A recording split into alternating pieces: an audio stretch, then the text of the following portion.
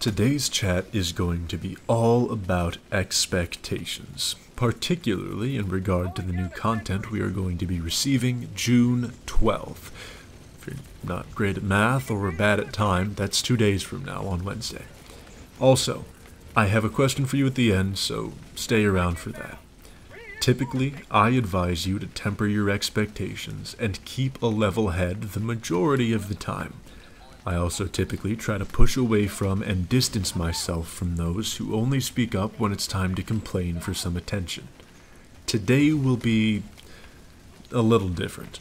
No, I will not be aligning with them, but I intend to set a standard here. Usually, I try to give as much breathing room as I can to the developers because I understand that they need time to get their ducks in a row and they are under a lot of pressure. However, as of the last few days, we have been promised massive improvements to the game we have all come to love. I will get into what specifics we are currently aware of in a moment, but I would like to say before everything else, if they do not deliver, I refuse to hide my disappointment. The upcoming improvements have been noted to be, in their words, the biggest changes to Touchdown thus far. Apparently, there's over 100 points of tinkering. With that in mind, I have set my expectations higher than they have ever been, and that feels like a fair assessment. These expectations are still reasonable for the time frame they have been allotted, and I will vent my frustration should they not be met. I will not be mad, but I will most certainly be disappointed. First and foremost, I want this to finally feel like I am playing a completed project and not beta testing for collision errors that have been present since launch. Just as we were all told not too long ago by executives, the grace period has ended. You're no longer getting massive leeway because it's new. They have had both ample time and resources to prepare, and I expect it to feel that way, as should you. There should also be an expectation for the decline of game crashes. My friends and I shouldn't have to play with the expectation that we are going to be removed several times in a single game through no fault of our own without warning. Speaking of friends, there had also be a fix to the nonsense that is the current state of our friends lists because uh, half of the time when you attempt to add somebody, your only options are reporting or blocking them. This is a massive problem as this is touted as a multiplayer experience primarily. I'm assuming this was on the list of fixes on account of them mentioning invite-only lobbies being implemented, and what good is an invite-only lobby if you can't invite or add any friends, but what do I know? Yes, I'm sure there's absolutely problems that I've glossed over during this, but that's where you come in later. I'm also briefly going to voice some concerns pertaining to some of the new changes I've seen in the works.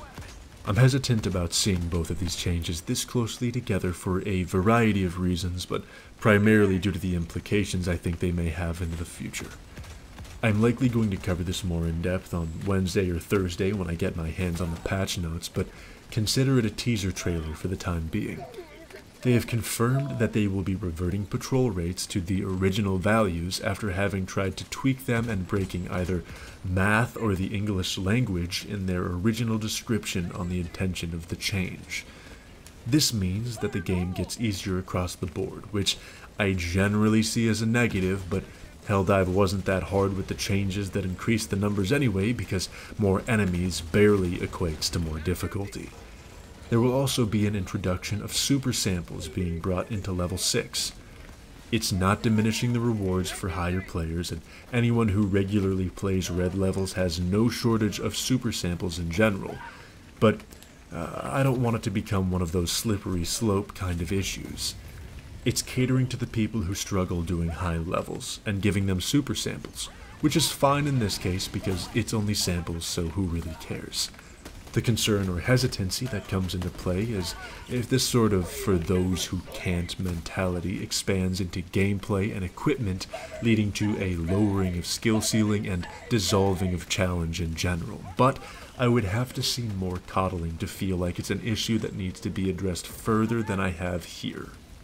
As far as weaponry goes, I've got no idea what to see coming because the community is as divided as it can be on how difficult things should be.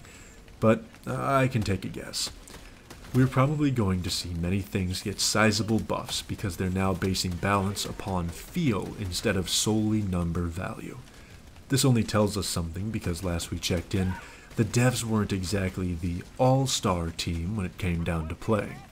However, Johan being the creative director and all may help keep things relatively in check. Uh, we can but hope. We're also getting hit in the face with a war bond the very same day as well. This brings me into our final segment. If I drop two videos in a single day, you're only going to be notified of one at most, if that, because YouTube isn't very fond of my video notifications. So, you've got a few options to decide between. I can talk to you about the patch notes on Wednesday and go in depth about the changes that will result because of them, and I can give you the War Bond review on Thursday. I can also flip the script, give you the review Wednesday and the notes on Thursday, or I can do it all at once as some uh, giant clusterfuck of information that will probably give you an aneurysm.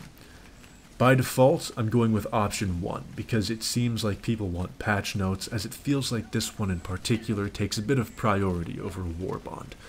God forbid they release them separately and I could do one video each separate day, but that's not the reality we live in, unfortunately. So, you go ahead and tell me what you would like to see, or maybe I end up throwing a community poll up on the channel to see where feelings line up. You can also go ahead and tell me what improvements you're hoping for in the comments if you're so inclined. As always, if you want good people to play with, feel free to hop in the server link in the channel so long as you're old enough. That about wraps it up for today. Stay safe and have a good night.